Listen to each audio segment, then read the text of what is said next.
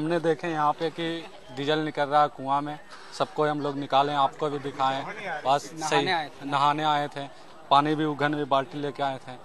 ये डीजल निकल रहा है आपको सबको जला के दिखाएँ। यहाँ पे तो जल कर जल, जला हुआ रामपुर थाना अंतर्गत गांगो बीघा मोहल्ला के वासियों ने पुलिस को सूचना दी कि एक पुराना कुआँ है जिसमें केमिकल आ रहा है। देखने से प्रतीत होता है कि पेट्रोलियम पदार्थ है।